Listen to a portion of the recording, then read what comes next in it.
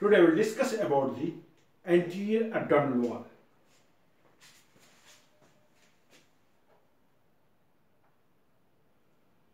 Here, first of all, we make a diagram. This is xiphoid process. This is costal margin.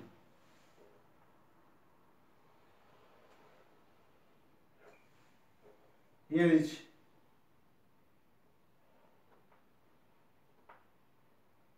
pubic tubercle, this is pubic bone, this is pubic tubercle, this is pubic crest, here is pubic symphysis, this is pubic symphysis.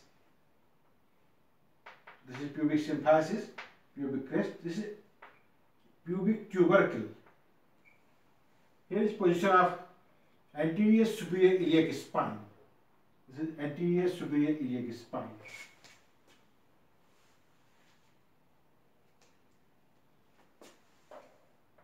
From anterior superior spine to pubic tubercle, here is fold of external oblique aponeurosis which form the inguinal ligament. So this is inguinal ligament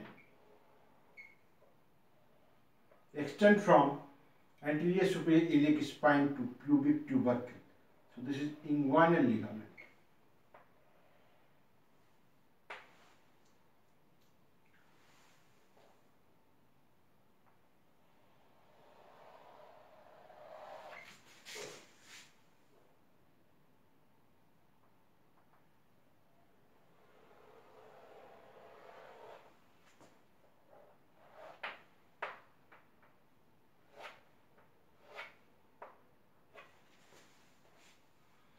This is anterior abdominal wall.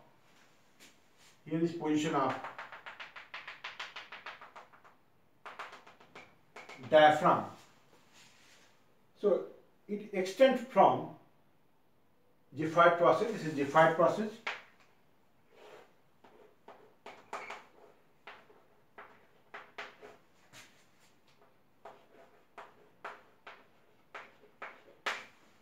This is costal margin.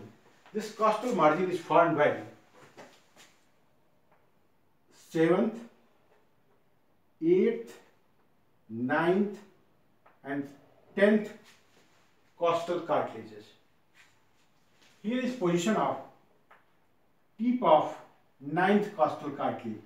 This is position of tip of ninth costal cartilage. It's like here. From here, xiphoid process to pubic symphysis. Here a vertical groove is present which divides the anterior abdominal wall into two right and left half right and left half. So this line is this groove is known as linea alba. So this is linea alba. Another group which extend from tip of ninth costal cartilage here to pubic tubercle. This is pubic tubercle.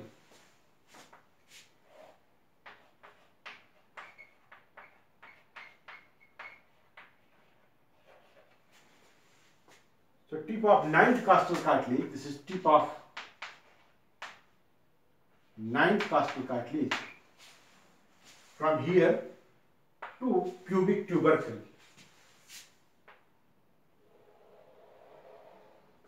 This is linea semilunaris. This is linea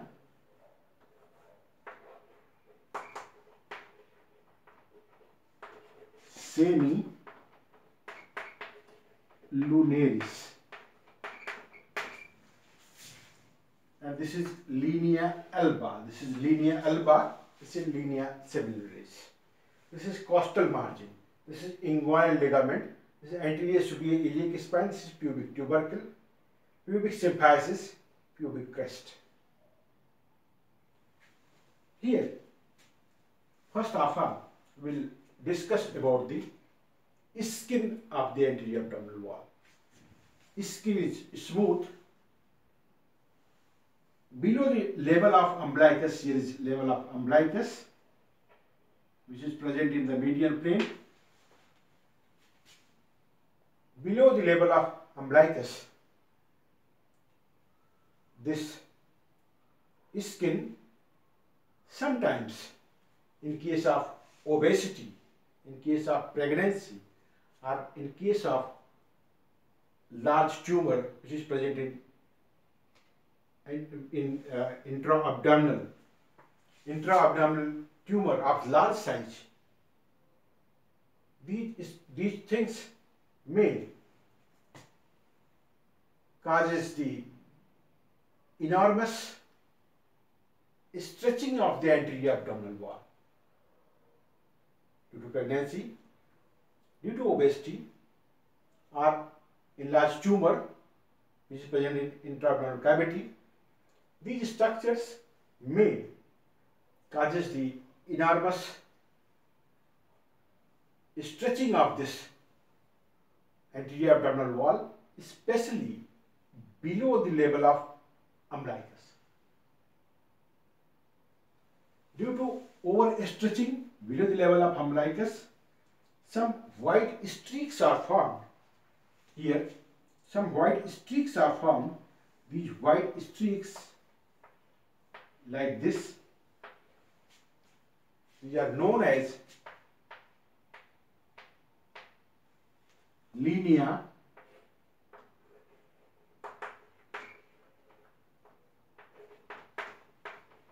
LB canthis, linea albicantes. Another important thing, in anterior abdominal wall, there is umbilicus, which lies a little below in medial plane between the xiphoid process and pubic symphysis. It lies little below this middle point present in this medial line that is linea alba. So this is umbilicus. Here may be depression or elevation. This is site where this umbilical cord is connected with fetus during intra-embryonic life. This is important because it forms the water shed line for the lymphatic and venous drainage. That means lymph above this line, this water shed line, goes into the axillary lymph node upward. Below this line goes to inguinal lymph node. And venous blood above this goes upward and below this goes downward. These lymphatic and venous channel do not crosses this water shed line. So it is important and form the water shed line for the venous and lymphatic channel. And it is also important site of portocaval anastomosis. That means portosystemic anastomosis. There is anastomosis between portal vein and systemic vein. Here. In case of portal obstruction, this venous channel become dilated and forms caput medusae. This is caput medusae. Like this. These veins become prominent due to dilatation of the vein, this caput medusae is formed here. So this is all about the skin of the anterior